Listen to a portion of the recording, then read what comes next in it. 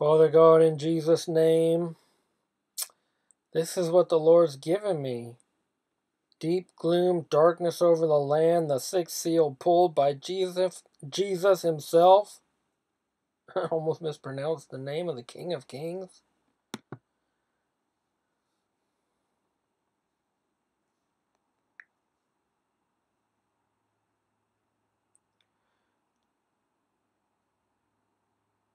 Nuclear earthquakes.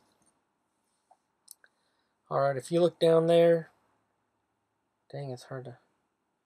Nuclear earthquakes.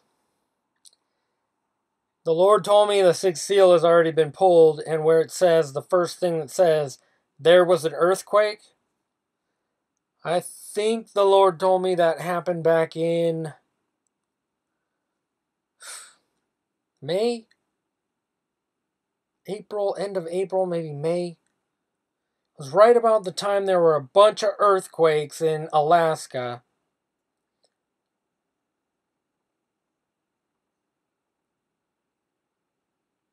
And then there was a ton of earthquakes.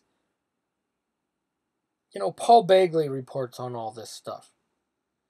But I was actually watching one of Paul Begley's videos and he was reporting that there was a ton of earthquakes happening in Alaska. Well, the Lord, and that was right about the time also Kim Jong Un started to launch more missiles into the, at like towards Japan. And knowing that World War III is on the horizon for all these months, waiting, and now there's still weeks left but the sixth seal has been pulled, and, and Jesus himself will make that determination when it is.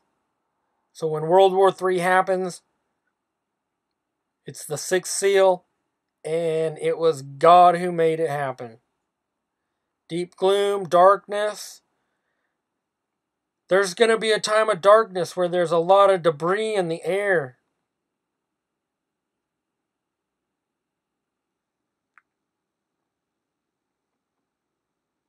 And spiritually with all the death and people gone.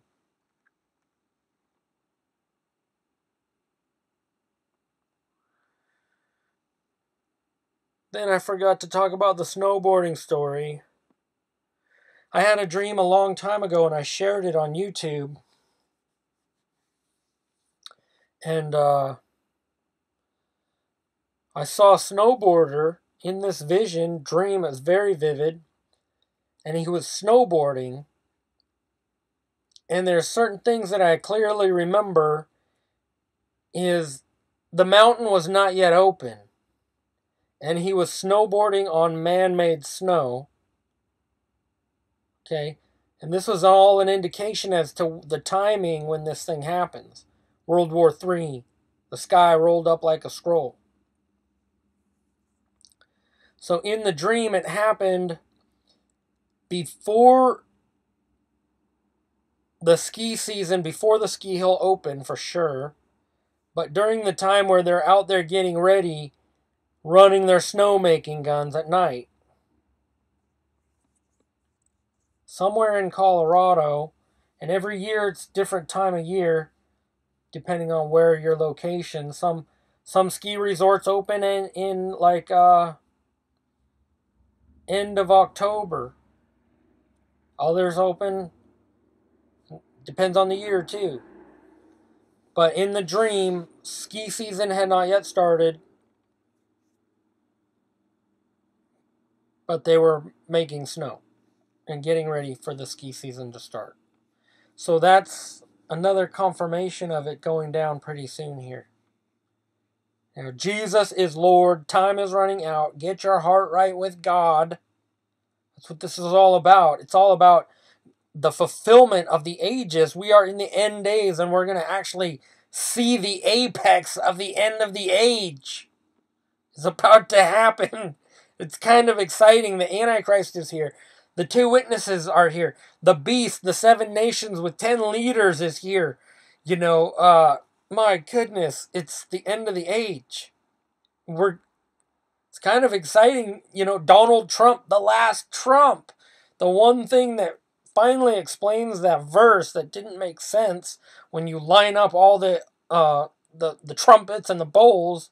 You go, how could that the trump the last trump the trumpet will say just Donald Trump is the last Trump. I mean, it's all lining up. The woman clothed with the sun, you know. And look how Kim Jong Un speaks so blasphemously about Americans. That's fulfilled in I should show you. It's in Revelation chapter 13. How the beast is uttering blasphemous, prideful words, which is exactly what Kim Jong un has been doing. And it's going to get worse because after World War III, they continue to speak against God. So, and God's people, the war is against the saints. It's against the saints. So everybody get ready. All you guys who thought the rapture is already supposed to happen, well, you're gonna find out.